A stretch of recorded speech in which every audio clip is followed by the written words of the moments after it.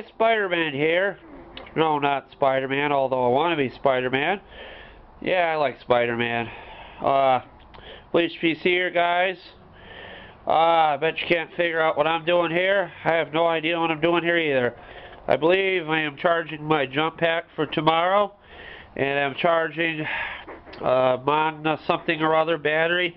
Yeah, it's a manga battery, like my uh, Japanese books, I guess. No, it's a Lowe's battery. This one's done right here with the beautiful red snapper paint on the side of it. Yeah, guys, I painted my snapper with the battery on there. So, there's still plans of this thing, as long as uh, there's no snow on the ground and it does not touch my feet and get my feet wet. So, yeah, guys, we're still going to put along on it.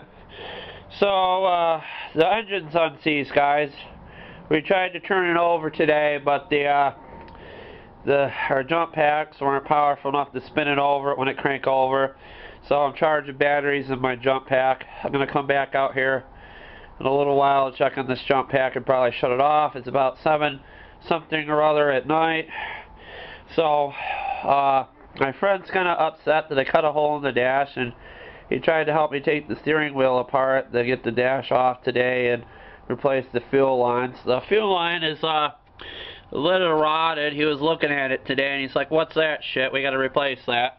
So, uh, so basically, to our brilliant deduction, we're to take a blowtorch and try to get the bolt out between the steering wheel there, guys.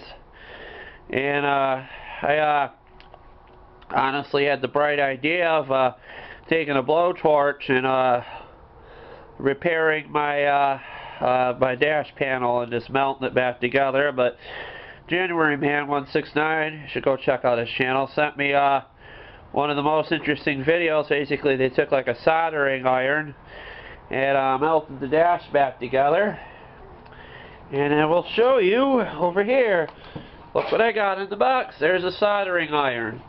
So yeah, guys, we're basically going to take the dash panel off, replace the fuel line, probably figure out the wiring where that uh, that uh, mysterious animal that I'm deathly afraid of that was in the tractor, one of those rat things.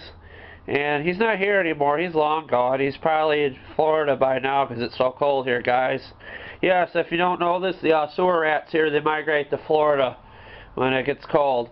So yeah, guys, we're going to figure out where the wiring problem is, where the short is, and probably rewire it, make it just work with the key switch right, if we can figure it out. Otherwise, we'll just wire push button or uh, January's man's idea with the wires going to the tractor. Honestly, thinking of painting the skies, I'm not really sure if I will.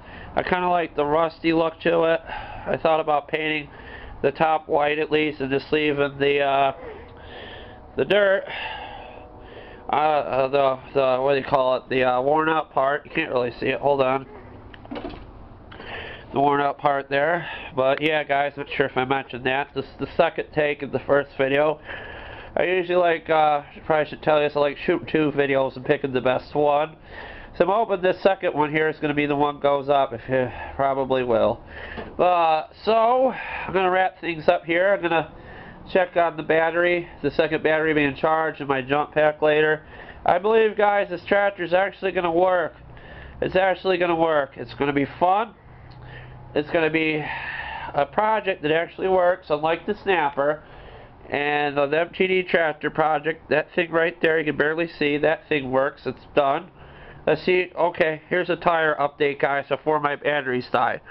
Uh, you can't see it, but it's still yeah, it's invisible, guys. You can see my hand touching the tire, but the tire's not there. So, yeah, it's, uh, it's holding air, guys, so it should be fine. I'm going to wrap things up, guys. Hope you have a nice Thanksgiving. It's next week.